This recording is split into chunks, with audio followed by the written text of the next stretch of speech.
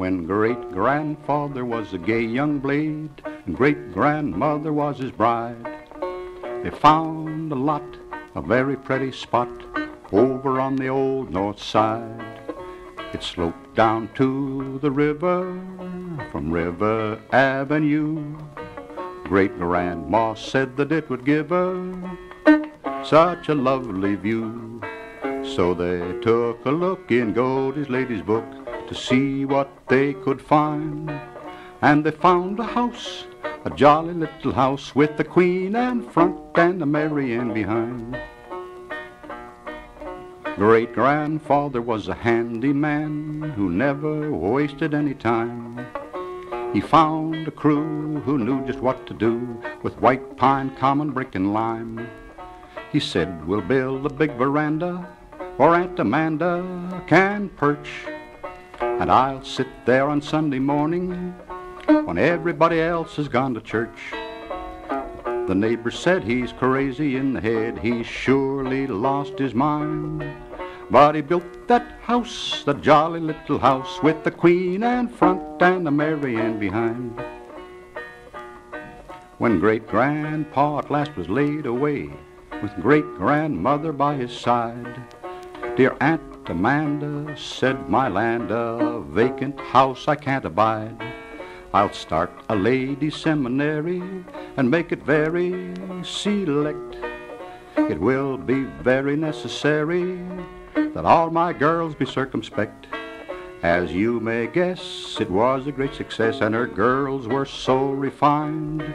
In the self same house, the jolly little house, with the Queen Anne front and the Mary Ann behind. When Aunt Amanda's work at last was done, and she had gone to her reward, appeared a sign which bore the line announcing simply room and board. The old house soon was filled with roomers of every degree. Red flannel underwear and bloomers were hanging out for everyone to see. The old front stoop had started into droop, and the house looked so resigned. The self same house, the jolly little house, with the Queen Anne front and the Mary Ann behind. The poor old house got looking worse and worse, and so did River Avenue. And wooden shacks across the tracks spoiled great grandma's lovely view. When several very pretty ladies moved in there one day, they were such charming Susan Sadies, but a wagon came and took them all away. There was one old dame says it's a dirty shame my girls are so refined. But they closed that house, the jolly little house, with the Queen Anne front and a Mary Ann behind.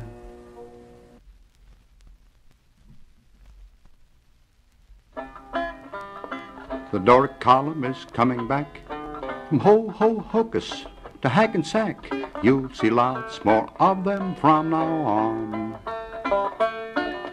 The steel pipe column is now de trop. No plinth, no entasis, or no chapeau. Looks as though the darn things are really gone. People thought lally columns really were here to stay. But disciples of Phidias thought they were hideous, so they've had their day. The Doric column is coming back.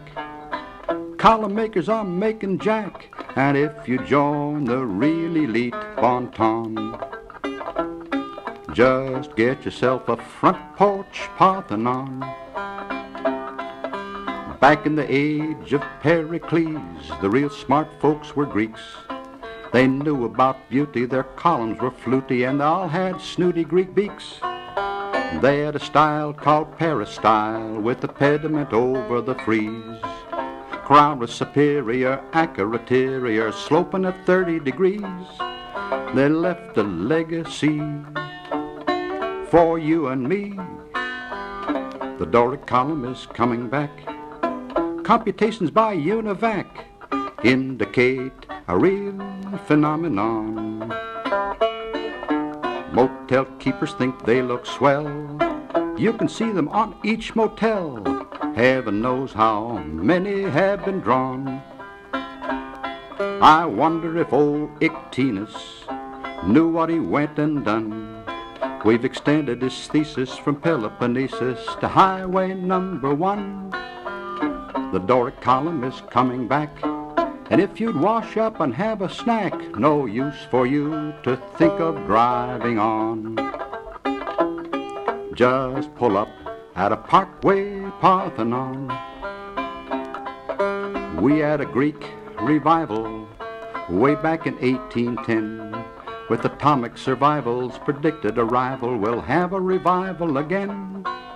Latest dispatches from Delphi newly arrived today. And the ancient historic Olympian oracle says it's on its way. When the Delphic oracle speaks, you better watch out for the Greeks, cause the Doric column is coming back. You will see them on every shack, they're part of every builder's lexicon. Folks are ready to shoot their wad on a miniature Greek facade and perhaps a front lawn iron fawn. Picture a picture window stuck in a Parthenon with Pete Pedopoulos on his Acropolis mowing his velvet lawn. I had a dream where Myron spoke. Listened carefully and then I woke and then I saw sweet rosy fingered dawn touch lovingly the poor man's Parthenon.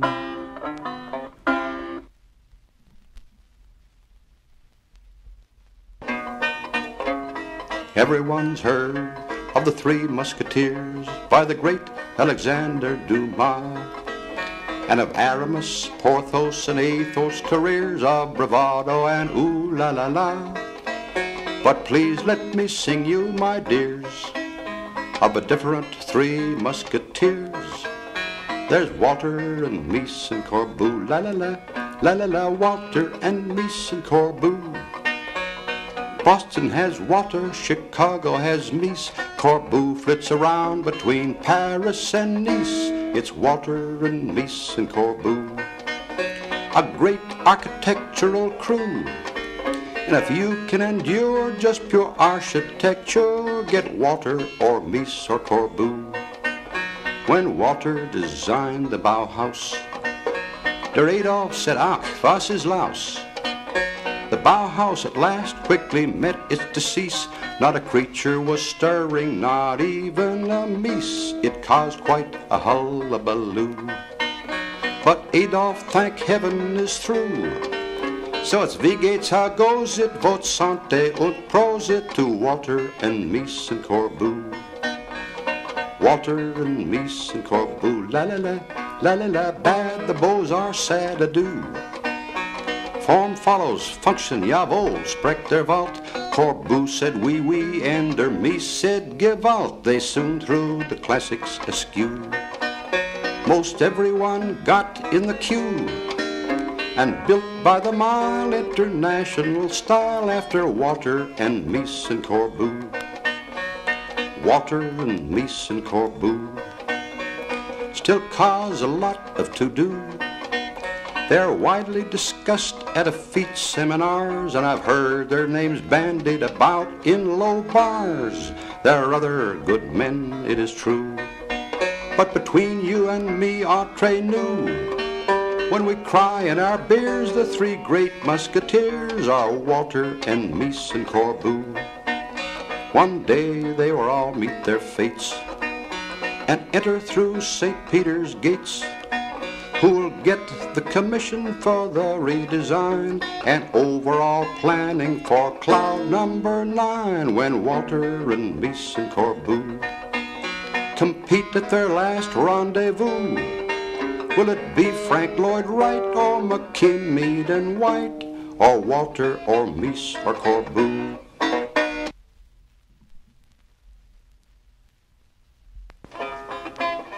The lamps of architecture are seven, quoth Ruskin as he pulled his Venetian gondola. The orders are five, and the first one is Tuscan, said Giacomo Barozzi Vignola. Maybe Ruskin was right, Vignola was right, but now neither figure will tally.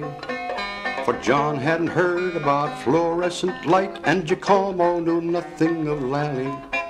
John Lally of Boston put in a few licks, designed a new order, and now there are six. The first one is Tuscan, the second is Doric, and both may be found in Desprez. Remember those analytique sophomoric, those private museums in Class B.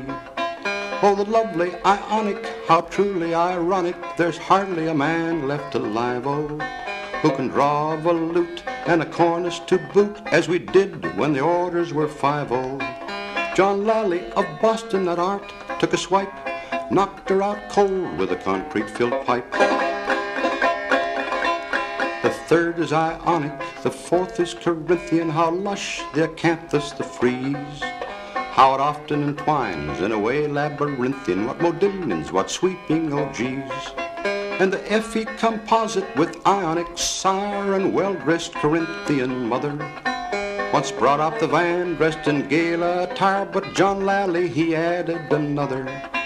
John Lally of Boston would have none of those. He wanted a column without any clothes. John Lally's sixth column was very insidious. It lurked under porches and alleys, relinquished the hills to disciples of Phidias, entrenched itself firmly in valleys. With sly self-effacement it hid in each basement, but soon began gaining in status. Amongst wealth and passion, it's now the fashion and adds to artistic afflatus. John Lally of Boston, how things do get on. Your thin, ugly duckling turned into a swan. And what pray of Boston, of Lowell and Cabot, home of the bean and the cod, and of Shepley and Coolidge and Bulfinch and Abbott, and a weekend stopover for God? Did the Brahmins converse over afternoon tea with accents exceedingly solemn? Did they voice their dismay in their haunts in Back Bay when they heard of this upstart sixth column? John Lally of Boston, he just didn't know. His prop knocked the props from the old State House crow.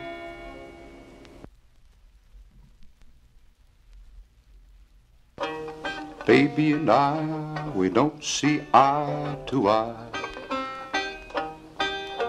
Love walked out and slammed our creaking door. Baby and I, we don't see eye to eye. We are hardly speaking anymore. She doesn't care to pitter pat around our spare unlittered flat hates our bare white painted walls, wants a knick-knack nook and lots of faulty rolls. My cutie pie says we must beautify, must beautify. Baby and I, we don't see eye to eye. Baby and I, we don't see eye to eye. Baby says that life is just a bore. Baby and I, we don't see eye to eye. Baby's tired of sitting on the floor. She says chairs, I say mats. She says mats are just for cats. It is a risk on mats to frisk. What you gonna do when I slip my disc? Baby's moaning low and getting high. She's getting high. Baby and I, we don't see eye to eye. Baby and I, we don't see eye to eye. Baby says she's got to have decor. Baby and I, we don't see eye to eye. She went and bought a Watteau escritoire. She bought wallpaper and she bought some chintz, a mohair sofa and some aqua tints. Her new upholstery took yards and yards, 'cause she grew out of all her leotards. Baby says we'll have hi-fi by and by, ay, ay, ay, ay. Baby and I, we don't see eye to eye. And she says no more beard or dungarees, no more yodeling like the Tyrolese. She gave away my old guitar, my bongos balalaika, and my samovar. Baby says I must wear a coat and tie, I just could die. Baby and I, we don't see eye to eye.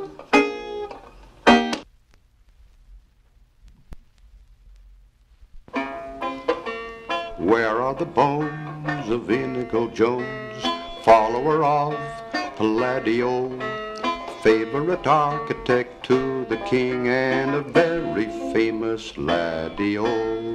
He showed the way to Christopher Wren, the classics to revival, and Christopher learned his lesson so well that quite mightily he did thrive.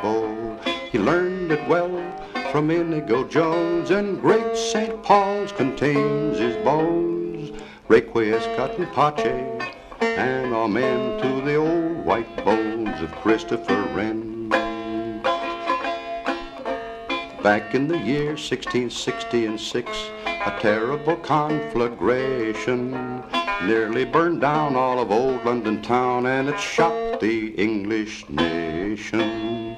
There were fifty churches burning more bright than any altar candle. How now, said the king, surely here is a thing that our Christopher Wren can handle. What say the bells of blessed St. James? Ring out for one of our famous names. Requiescat in pace and amen to the old white bones of Christopher Wren. Then the king said to Christopher Wren, Speedily now design, oh.